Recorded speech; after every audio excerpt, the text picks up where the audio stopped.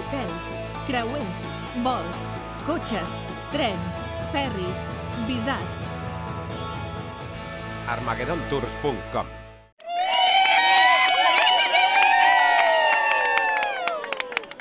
Este és el crit que es feia als camps d'oliveres de la plana del Montsià per comunicar-se d'una finca a una altra. També és el nom del festival que es realitzarà este cap de setmana al Mas de Barberans, el Rijijiu.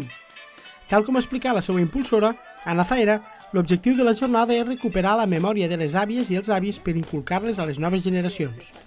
Enguany, la festivitat comptarà amb performance, actuacions de circ o desfilades.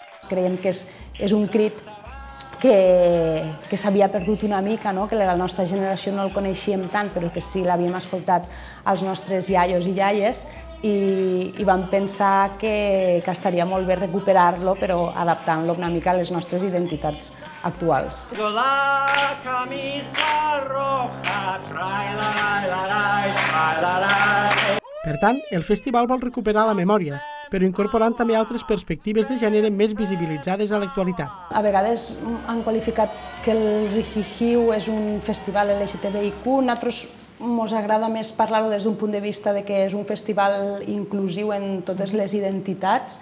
Pensem que moltes vegades hi ha identitats que els, els pobles han estat molt silenciades o, o, o molt als marges, no han estat visibles i a nosaltres ens agrada poder-les integrar a les cercaviles, als balls i a, i a, i a la cultura popular, que ha sigut molt, molt restrictiva a l'hora de representar identitats alternatives. Serà el primer cop que el Rijijiu se celebra al Mas de Barberans. Tot i això, tornarà al seu poble d'origen, Santa Bàrbara, a l'octubre.